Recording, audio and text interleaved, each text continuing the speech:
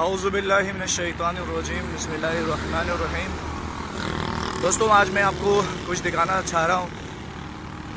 اسے ذرا پہلے غور سے دیکھیے گا اور غور سے سمجھیے گا۔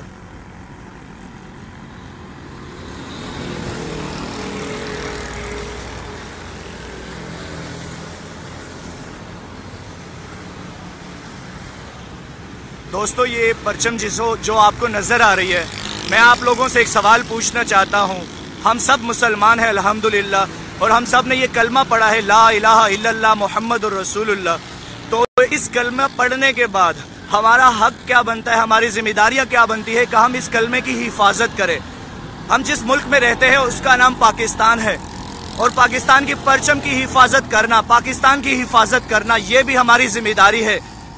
اگر کوئی شخص یہود النصارہ کی شکل میں اسلام کی لباس اوڑھ کر آتا ہے اور اسلام کی بے حرمتی کرتا ہے اور پاکستان کی بے حرمتی کرتا ہے۔ تو میں آپ لوگوں سے پوچھنا چاہتا ہوں، کیا تم اس پر غور اور فکر نہیں کرو گے کہ یہ لوگ جو کلمے کی شہادت کلمہ اپنے جھنڈے کے اوپر اور وہ جھنڈا بھی پاکستان کا، اس پر لا الہ الا اللہ محمد الرسول اللہ لکھتے ہیں، وہ جھنڈا روڈ اور سڑکوں پر چلاتے ہیں، پھر وہ جھنڈا سکڑ کے، وہ خشک ہو کر زمین پہ گرتا ہے، کچروں میں گرتا ہے، نالوں میں گرتا ہے۔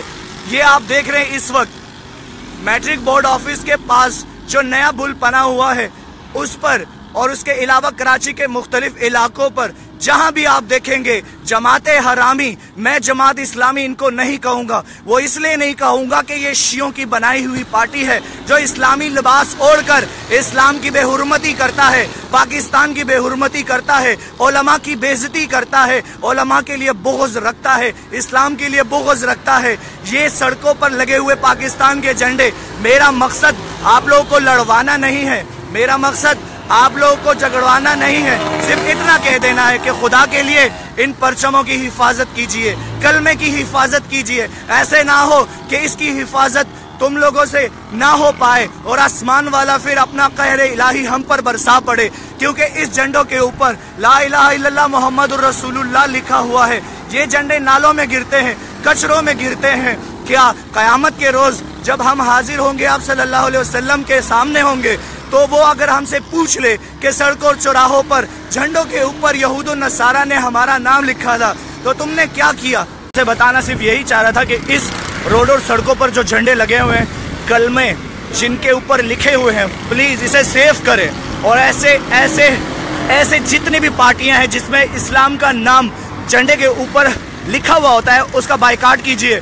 ان کو ہٹا دیجیے، یا تو جھنڈے کی حفاظت کرے۔ اگر حفاظت نہیں کر سکتے تو خدا کے لیے اس سے اس سے یہ کلمہ ہی ہٹا دیجیے، یا یہی ہٹا دیجیے۔ میں صرف آپ لوگوں سے اتنا کہوں گا کہ خدا کے لیے جتنے بھی پرچم ہیں، اسے جلد سے جلد اٹھا دیا جائے، نکال دیا جائے۔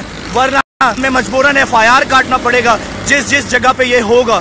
کیونکہ ہم لوگ چپ نہیں رہ سکتے کیونکہ یہ ہمارے دین اور اسلام کا مسئلہ ہے۔ یہ لوگ پاکستان کا پرچم بنا کر اس پہ کلمہ لکھ لیتے ہیں اور پاکستان کا پرچم پھر پھٹ جاتا ہے۔ تو پاکستان کی بھی بےحزتی ہوئی۔ پاکستان کا مطلب کیا ہے؟ لا الہ الا اللہ محمد الرسول اللہ۔ اور اس کلمے کا مقصد کیا ہے؟ اس کی حفاظت کرنا، اس کی زندگی، اس کے نیچے زندگی گزارنا۔ تو دونوں طرفوں سے ہمارے اسلام کی اور پاکستان کی بے عزتی ہوتی ہے۔ اگر جھنڈے پر کلمہ بھی نہ لکھا ہو، لیکن پاکستان کا پرچم ہو، پھر بھی اگر وہ سڑکوں پہ گرے گا، تو پاکستان نہیں، بلکہ کلمے کی بےزتی ہوگی۔ کیونکہ اس کا مطلب ہی ہے لا الہ الا اللہ محمد الرسول اللہ۔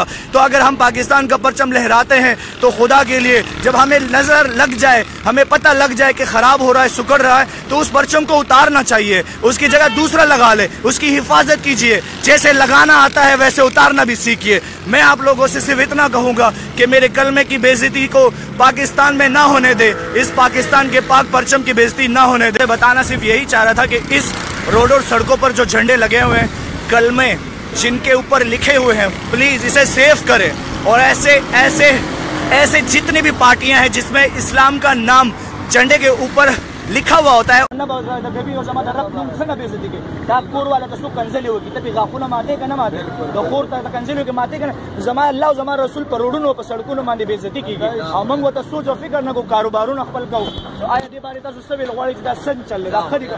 چې اجتماعي طور سره چټول لاوزو لګا دا۔ ډیر خوشاله اجتماعي لګا اجدی ته نو شي وای دا الله نوم په جنډه باندې ملي کوي جنډه دې لګي الله نوم دې لیکل نه پکار دا غدا به ورمتي کیږي چې لګا دا دا جنډه بیا ورسته چې ورسته چې په روټونو باندې ورځي دا نه یو قسم لګا دا د الله دا د الله د رسول د نوم دې ورمتي ده دا نه ده پکار شوی دی کلمه په کوم ځای کې پرته ده پنالۍ کې پرته ده په کچرو کې پرته ده تاسو ما د دا دې بارے موږ له سرکل پکار دی دا کول پکار ضرور چې بھائی لکه په دې باندې اعتراض پکار دی اول دا جنډې چې کم دي کړل لکه په دې باندې کلمه ډو پکار نه ده نور پر څه نشان دي په دا ورګه کم چې لګېدل دا دا کم چې لګېدل دا رسته شو د په کچرو کې پرکار دا اوس موږ له څه پکار دی آیا چې دې خلاف اول ټول پکار دی. بالکل لازمي خبره بالکل رورا موږ له پکار دی چې داسې څوک دا جنډه لګوي نو موږ له پکار دی چې موږ نه دا دی، باید بله ولګوو خو دا کلمې هغه جنډه لګوي. کلمې جنډه باندې لګي نور په شان دي ځان له جوړ کا کنه رورا